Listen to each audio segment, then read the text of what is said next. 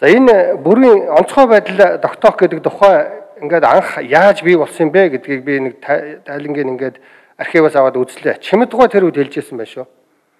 Бид магадгүй ардчлалыг хязгаарласан хатуу чанд журам тогтоосон гэсэн хэл ярианд орох баха.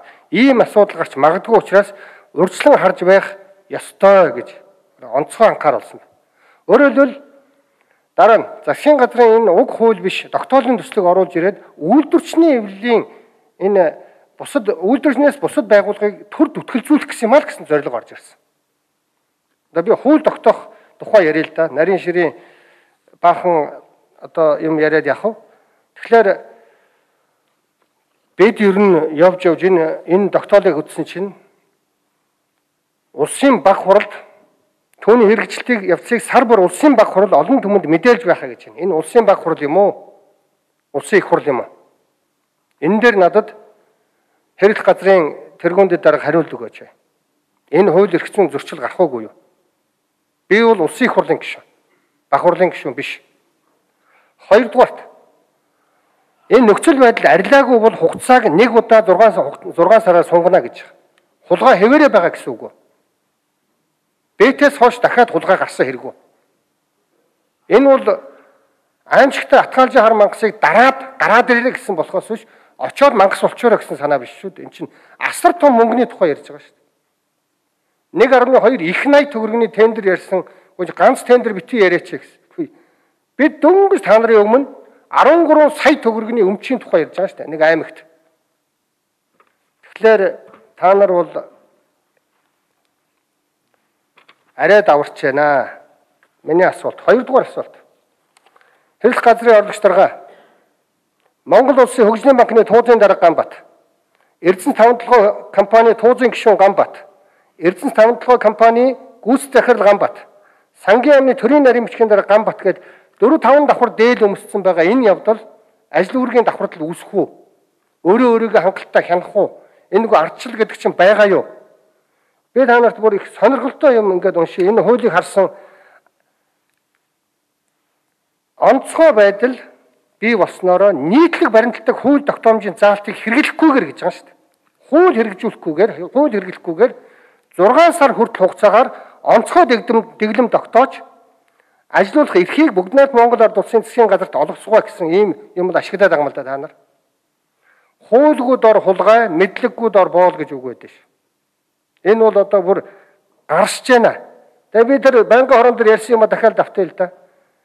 Моннес гэдэг компани хууль бусаар шалгартсан байна. Энэ гомдлын туузын дарга Ганбатад төрийн өмчийн газрын дарга Ганбатны шийдэж байгаа. 126 тэрбум төгрөгийн хөгжлийн банкнаас хугацаа хэтэрсэн одоо төлөхгүй байгаа зээлтэй хүн тендерийн хуулийн харилцагч банкнаас хугацаа хэтэрсэн зээлгүй байх ёстой гэсэн тэр юмыг зөрчиж байна гэж би харж байгаа. Энэ хууль зөрчиж байна уу юу? Тэгэхээр тэгээд хамгийн аюултай нь тендерийн гэрээн дотор нь надад бол Монголын үйлдвэрчний холбооны гишүүдээс ирсэн гомдол байна. Гурван гомдлын би зүгээр эхнийх нь ярьж байна. Тэгэхээр тендерийн хуулинд маш бага үнээр баш багаар авсан гэж байгаа. Та нар үн нэмэг За энэ хууль зүйн үндэслэлийн хувьд бол 91 оны хуулийг барьж байгаамаа. Тэгэхээр энэ 91 оны одоо энэ бүгд найрамдах Монгол ард улсын засгийн газарт ирэх болох тухай гэсэн энэ хууль өнөөдөр хүчин төгөлдөр мөрдөгдөж байгаа. За 91 онд батлагдсан нэлээд хэд хэдэн хууль өнөөдөр хүчин төгөлдөр мөрдөгдөж байгаа. Тэгэхээр энэ нэгэнт одоо хүчин төгөлдөр мөрдөгдөж байгаа хуулийн хүрээнд энэ асуудал бол орж ирж байгаа. Нэгдүгээр үндсэл нь бол энэ. За хоёр дахь нь бол яг энэ 1991 оны хуулиар а өмнөх бас одоо төрийн өмчтэй аж ахуйн нэгждэр онцгой дэглэм дотоох асуудлыг орж ирээд ингээд практик хэрэглээ гаргаад явцгаа. Тэгэхээр одоо хууль хэрэглээний явцдаа бол энэ 91 оны хууль За энийг бол хэрэг хэрэглээний хувьд бол практик гаргаа явцсан. За энийг улсын хурл бас хүлээж аваа шийдээд ингээд одоо жишг тогтооцсон ийм юм байж байгаа.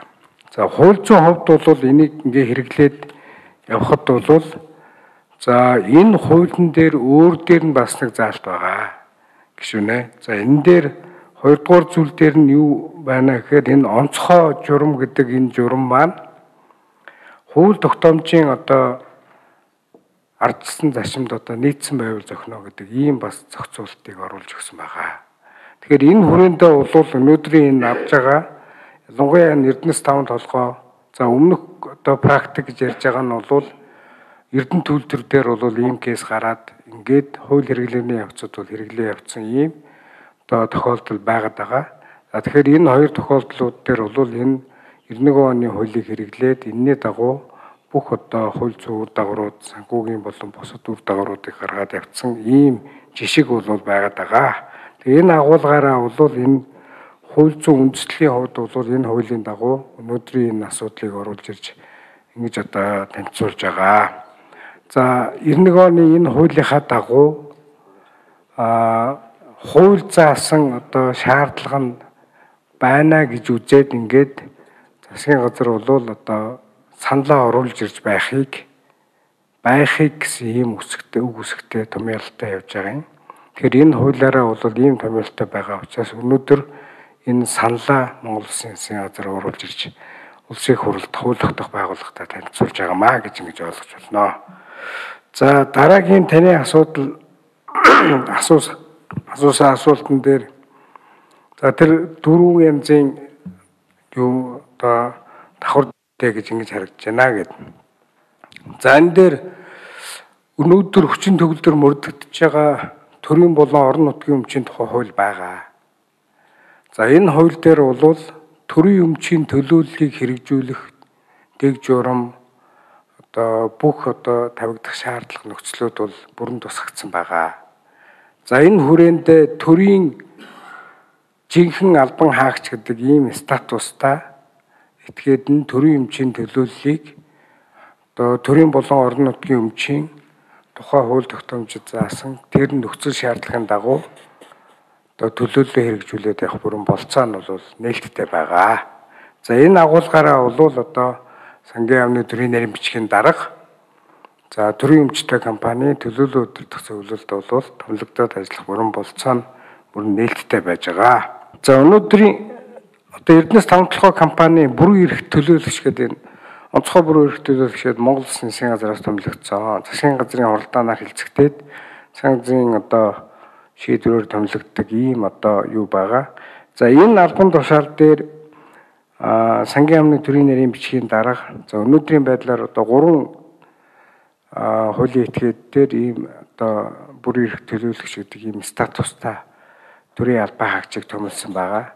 За энэ нь өөрөө асуудал нь Монгол Улсын засгийн газрын хуулиар олгогдсон одоо бүрэн эрхэд хамаарч байгаа ийм асуудал байгаад байгаа учраас засгийн газар энийг хүлээн зөвшөөрч болцоотой гэж ингэж үтсэн учраас томилгоо хийгдээд ингэ явж байгаа гэж ойлгож болно. Тендертэй холбоотой асуудал дээр бол нэг ийм тендерийн хууль байгаа. За тендерийн хуулийн дагуу гарсан одоо тендерийн одоо худалдаа ажиллагааны дүрм журмууд гэж зөндөө одоо баримт төшгөд бол байгаа. За энэ дээр тавигддаг тендерийн үйл ажиллагаанд тавигддаг нэг том шаардлага нь бол татврын болон нийгмийн даатгалын шимтгэлийн одоо хуцаа хэтэрс өртөө байх гэдэг ийм асуудал байгаа. За энэ шаардлагыг бол одоо тухайн үед бол энэ тухайн худалдаа авах ажиллагаатай холбогдсон асуудал дээр хөрөнгө нь одоо хэн шийдэж чинь тэр тухайн хуулийн этгээд нь бол ажлын хэсгээ байгуулад үнэлгээний хороо гэдэг ийм нэгжээ хэсгийг томлоод за тэр үнэлгээний хороо бол хууль тогтоомж за засгийн газраас баталсан за мөн сангийн сайдын одоо эрхийн актаар баталсан тэр тендерийн үйл ажиллагаатай холбогдлолтой бүх төрлийн журмыг хэрэгжүүлж ажиллах ийм одоо чиглэл үүрэгтэй байгаа. За тэрэн дээр бол татвар нийгмийн даатгалын шимтгэлийн хугацаа хэтэрсэн өртөө бол гэсэн ийм одоо шаардлагыг тавьсан байдаг юм аа.